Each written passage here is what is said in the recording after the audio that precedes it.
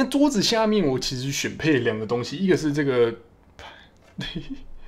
那桌子下面我其实选配两个东西，一个是这个收线槽，一个是我们的放电脑桌机的一个支架，我们的电脑就可以